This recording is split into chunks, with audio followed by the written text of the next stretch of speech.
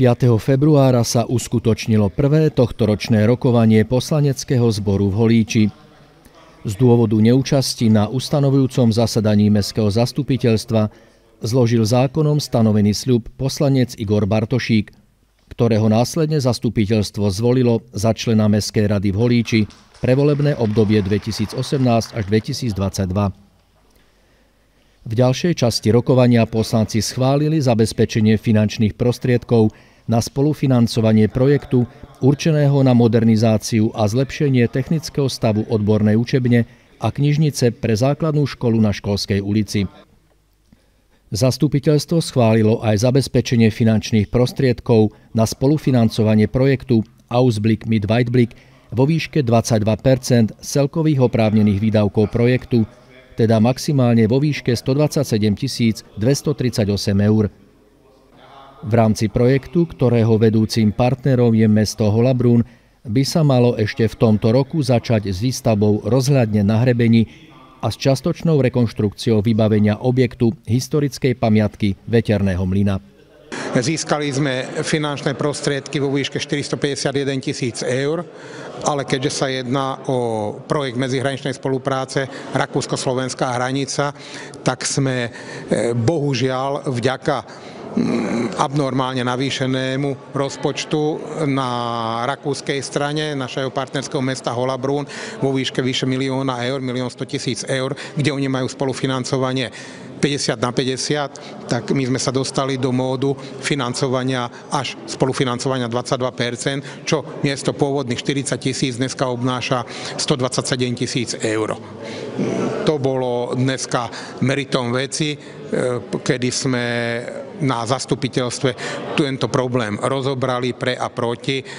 Tu boli iba dve možnosti, alebo nebudeme na tú ponuku, ktorá nám bola pridelená, reflektovať. Prídeme o 450 tisíc, ušetríme našich 127, ktoré môžeme povedzme investovať niekde inde, alebo získame tých 451, dáme 127 a bude rozhľadňa a bude tam odštartovaná tá systémová revitalizácia a prípravy toho územia na oddychovú zónu Veterný mlyn.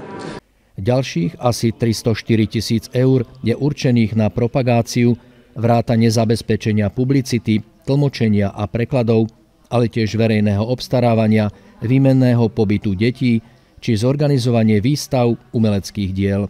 Odkup pozemkov bohužiaľ riešený nebol, je to riešené dlhodobým prenájmom za euro, ale za protislužbu. E, tento pozemok e, patrí židovskej náboženskej obci, predať ho nechceli, vynútili si e, spoluprácu s mestom vo väčšom meritku ako doteraz, aby sme sa starali o židovský cintorín, ktorý tam je dosť zanedbanom stave, čo sme už aj vlastne odštartovali, tú revitalizáciu toho židovského cintorína na 50% je vyčistený, čaká nás ešte ďalších 50% v rámci rokovania sa uskutočnila aj voľba členov komisí Mestského zastupiteľstva. Poslanec Janošík podal pozmenujúci návrh, aby bola voľba verejná. Väčšina poslancov však tento návrh nepodporila. Na základe tajného hlasovania sa z navrhovaných kandidátov stali členmi príslušných komisí jednotlivci, ktorí získali najvyšší počet hlasov. Kompletný zoznam a obsadenie jednotlivých komisí je uvedený na webovej stránke mesta Holíč. V bode rôzne zazneli okrem iného pripomienky poslanca Ševčíka týkajúce sa zmeny periodicity, zriadenia redakčnej rady či kompetencií vydavateľa mestského časopisu Holíčan. Podľa vyjadrenia primátora bude táto téma jedným z bodov programu najbližšieho zastupiteľstva.